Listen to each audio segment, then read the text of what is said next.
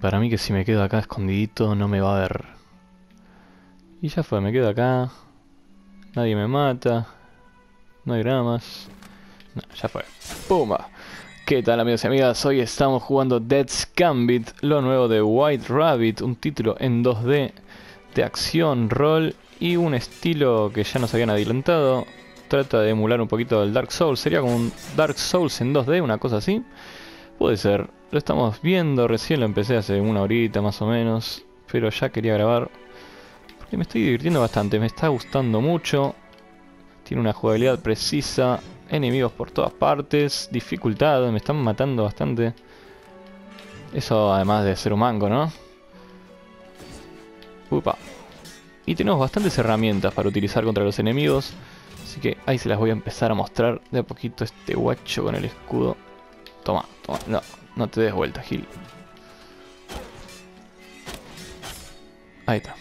Fragmentos. Esos fragmentos que nos van dando son para subir de experiencia cuando encontremos las estatuas donde podemos descansar, curarnos y guardar.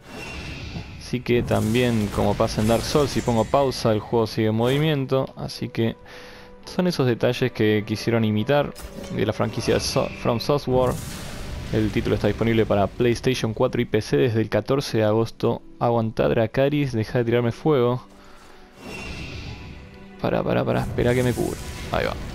Uy, me la repuse este guacho. Para. Uy, la puta madre. Ahí está. Ah, yo quería que se prenda fuego el tipo, me cago. Vamos a esperar un poquito. Entonces tenemos la espada como ataque principal. Algo interesantísimo es que cuando empieza el juego podés elegir entre 7 clases diferentes. Uy, la puta madre. Miren mi vida ya. Para atrás, para atrás que me agarré acá. Podemos elegir entre varias clases. Están las típicas, soldado, mago. Y después hay algunas un poquito más copadas que nunca había visto. Uf, mierda, ¿qué onda? Me la están por dar. Chicos, no puedo hablar mientras juego esto porque me cagan a palos.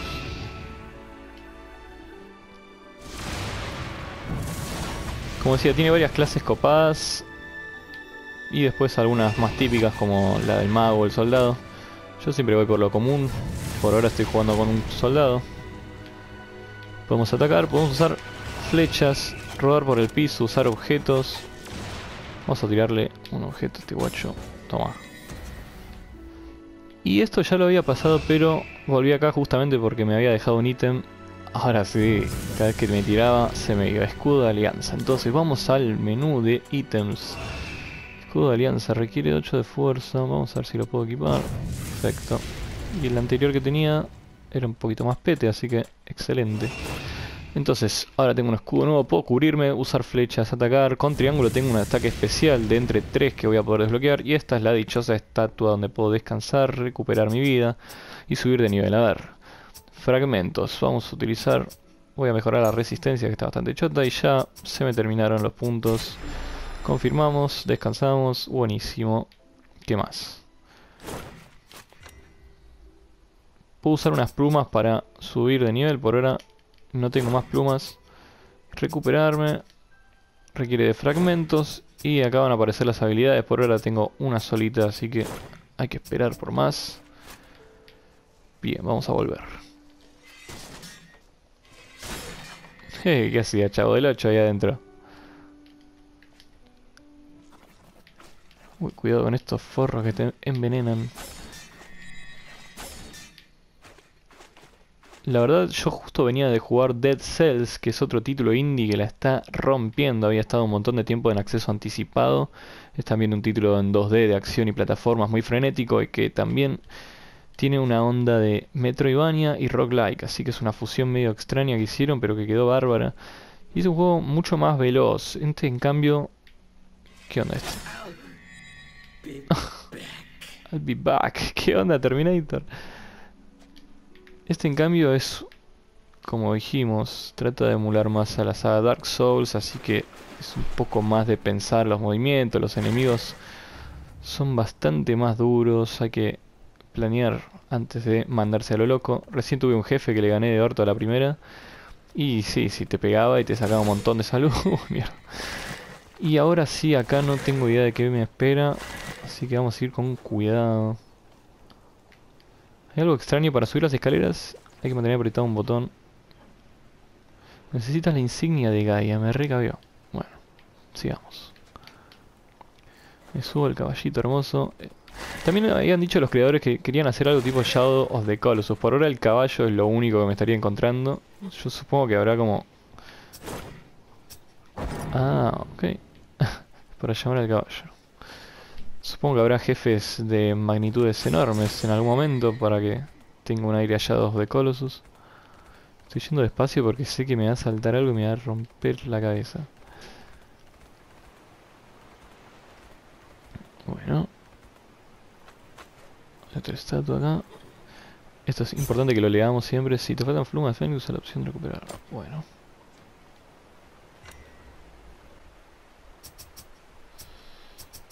Bueno, nada, ya habíamos usado la estatua, así que guardamos y seguimos.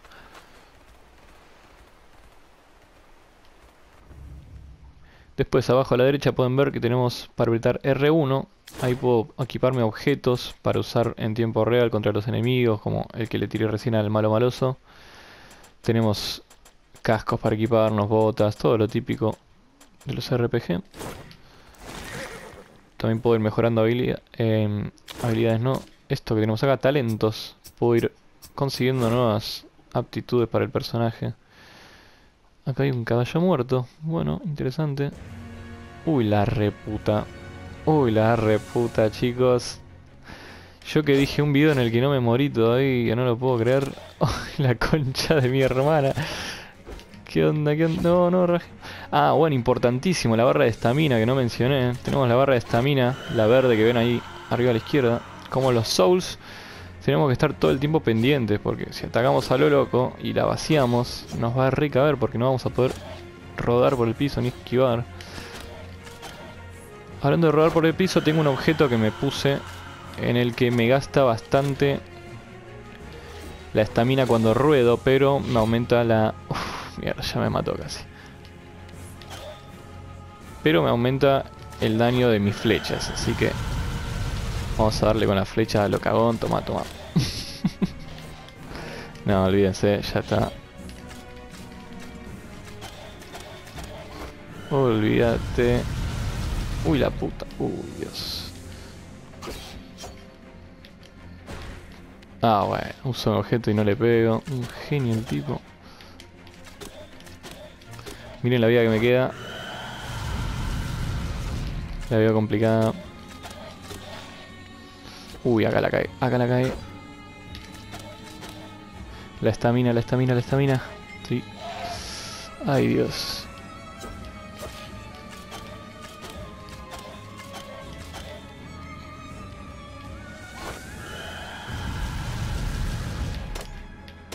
No me quedan flechas, no te la puedo creer. Bueno, vamos a tratar, vamos a acercarnos. Ah, tengo la habilidad especial todavía, a ver. Triángulo. Ay, ay, ay, Dios. Uff, cómo fue. Seguí apretando, viste, por si aparecían flechas por arte de magia. Ay, me recontracabido, me encerro. Bueno, entonces aparece la muerte y nos revive en la estatua. Hablando de eso, la historia ocurre con un soldadito que se murió y la muerte lo revive para que trabaje para él. Tengo una bronca, guacho. Siempre que grabo un video...